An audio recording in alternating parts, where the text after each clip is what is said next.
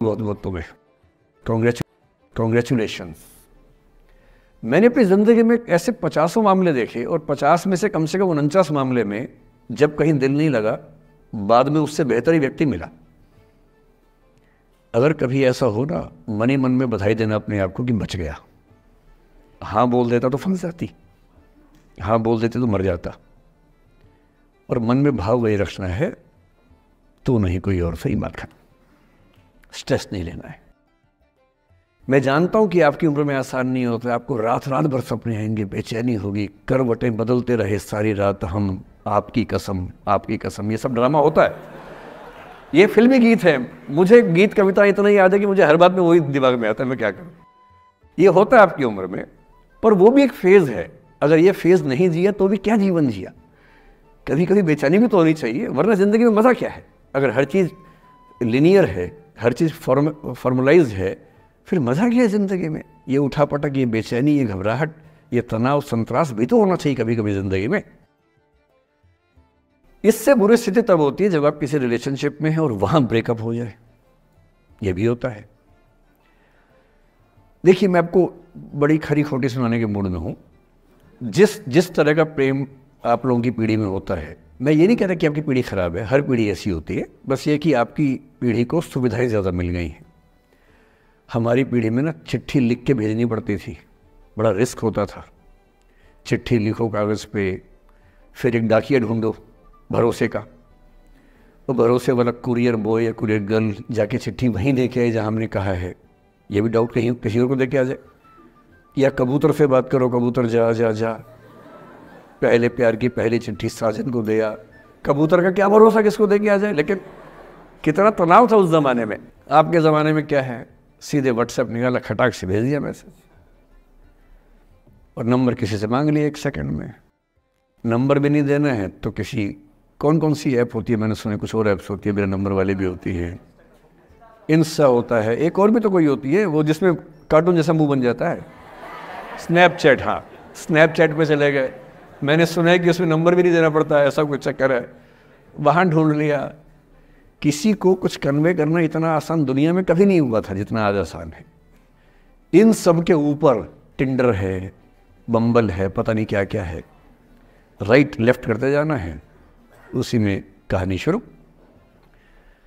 पर ये कहानियाँ जितने हल्के तरीके से शुरू होती हैं, मैं दावे से कह रहा हूँ कि सौ में से निन्यानवे अट्रैक्शंस एक से दो महीने में ख़त्म हो जाते हैं। क्योंकि आप जिसके प्रति अट्रैक्टेड थे ना, वो तो उसका बाहर का परसोना था। जहाँ परिचय गहरा होता है, असलियत सामने आ जाती है। और जब असलियत सामने आती है, झेलना बड़ा मुश्किल होता है। आपके सपने टूट जाते हैं। आप जिस छवि पे दीवाने हुए थे, वो छवि तो सिर्फ़ छवि थी। वो तो इंसान नहीं था वैसा। 99 परसेंट केसेस में मेरा ख्याल है कि अट्रैक्शन एक दो महीने में समाप्त होता है। उसके बाद तो एक बोझ है जो आप ढो रहे हैं। कभी कभी होता है कि दोनों का ख़त्म हुआ तो बात आसान है। कभी कभी किसी एक का ख़त्म होता है, एक का नहीं होता है। वहाँ मामला मुश्किल हो जाता है। तो ऐसा हो सकता है आपके जीवन में कि दूसरा साथी आपका ये कहे कि, भैया देखो, मैं तुम्हारे साथ कुछ महीने से हूँ, पर मुझे अब अच्छा नहीं लग रहा। मैं ब्रेकअप करना चाहता हूँ। मैं आपसे निवेदन करूँगा कि ये मान के मत चलना कि उसने आपको धोखा दिया है। क्योंकि बच्चे तुरंत उस मुद्रा में आए थे अच्छा अब मैं कुल्हाड़ी उठा लूँगी, अब मैं तेजाब उठा लूँगा। तूने मुझे धोखा दिया है, तूने मुझे चीट किया है। You are a cheat you are a liar you are a पता नहीं क्या क्या पता। इंग्लिश में गालियाँ बड़ी सुंदर देते हैं बच्चे। मैं ये कहना चाह रहा हूँ कि इस बात की संभावना मान के चलिए कि हो सकता है कि आपके साथ दो महीने रहने के बाद सच में उसको ये लग जाए कि आपके साथ ट्यूनिंग ठीक नहीं है। या आपको लग जाए कि आपकी ट्यूनिंग उस व्यक्ति के साथ ठीक नहीं है। और किसी मुर्दा को अपने पास पकड़ के रखना उसका मज़ा नहीं है। आप किसी को बाँध तो लेंगे, पर जब उसका दिल आपके पास है ही नहीं। दिल विहीन लाश अपने पास टिका के रखना एक मुर्दे को बाँध के रखना इससे बेहतर है जाने दो। बांधना नहीं।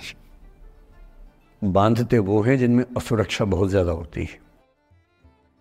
उस असुरक्षा से बचने का उपाय खुद को बेहतर बनाना है। आप इतने बेहतर हों कि आपको चाहने के लिए हज़ारों लोग हों। क्यों आप इतना डिपेंडेंट होते हैं कि इस एक व्यक्ति के अलावा मेरा कोई है ही नहीं दुनिया में? ऐसा क्यों सोचना है? और ऐसे ही मामले में ये करना है, वो अफसाना जिसे अंजाम तक लाना ना हो मुमकिन, उसे एक खूबसूरत मोड़ देकर छोड़ना अच्छा और ये खूबसूरत मोड़ कैसे होगा? अगर कोई जाना चाह रहा है तो आपके पास तीन ऑप्शंस हैं। एक, ना उसको अच्छे से बात करे, ना ख़राब से बात करे न्यूट्रल होके जाने दे। एक, उसको धमकी दे। बर्बाद कर दूँगा, छोड़ूँगा नहीं। तो निकल के देख घर से, तेरे एड्रेस पता करवा लूँगा। मेरे साथ पचास दोस्त हैं, मेरे सारे आवारा हैं, सारे बेरोज़गार हैं, सारे कुंठित लोग हैं, सारे गुंडे मवाली हैं, उनका धंधा यही है। तेरे पीछे छोड़ दूँगा सबको, एक ही तरीका है। और तीसरा ये कि ठीक है यार ऑल द बेस्ट जा सिमरन, जा। जी ले अपनी ज़िंदगी। अरे ठीक है, हो सकता है मैं तुझे ठीक नहीं लगा, कोई बात नहीं। लेकिन किसी से मिलो तो बढ़िया से मिलना, तेरी ज़िंदगी अच्छी हो। मैं भी ढूंढ लूँगा किसी न किसी को। थोड़ी हेल्प कर दी हो कहीं इंट्रो करवा दी मेरी भी। लेकिन ठीक है, तू भी जा। ये होता है खूबसूरत मोड़ देकर छोड़ना अच्छा। चिपकू नहीं बनना है किसी के पीछे।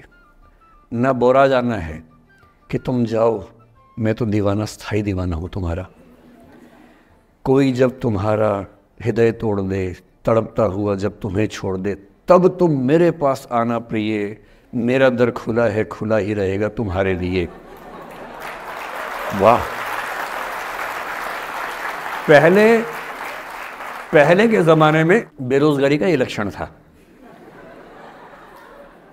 हम जब छोटे थे, ये गाने सुनते थे। हम यही सुन के बड़े हुए कि ऐसे ही करना पड़ता है शायद प्रेम में। तो हमारे स्कूल में लोगों ने इसका पैरोडी बनाई। जब कोई तुम्हारा सर फोड़ दे तड़पता हुआ जब तुम्हें छोड़ दे, तब तुम मेरे पास आना प्रिय। ये क्लिनिक खुला है, खुला ही रहेगा तुम्हारे लिए। तो बस आ जाना। जब कोई तुमको सड़क पे छोड़ दे, गाड़ी अपनी वहाँ से मोड़ ले, तब तुम मेरे पास आना प्रिय। ये ठेला खड़ा है, खड़ा ही रहेगा तुम्हारे लिए। क्यों भाई? क्यों खड़े रहोगे? बेरोजगार हो क्या? अरे ठीक, जा सिमरन, जा जी ले। और मैं भी जा रहा हूँ जीने के लिए। ये दीवाना नहीं बनना है कि तुम मतलब मुझे ना चाहो तो कोई बात नहीं, किसी और को चाहोगी तो मुश्किल होगी। अजीब हाल है यार। तुम ठेकेदार हो? कि तेरा ठेका मेरे पास है, नहीं तो किसी के पास नहीं है? अजीब हाल है। अरे ठीक है भाई, उसकी ज़िंदगी है। जीने दो उसको। क्यों किसी की ज़िंदगी में इतना हावी होने का प्रयास करना है? जब आप नहीं चाहते कि आपकी ज़िंदगी में कोई हावी हो, आप क्यों किसी की ज़िंदगी में इतने हावी होंगे?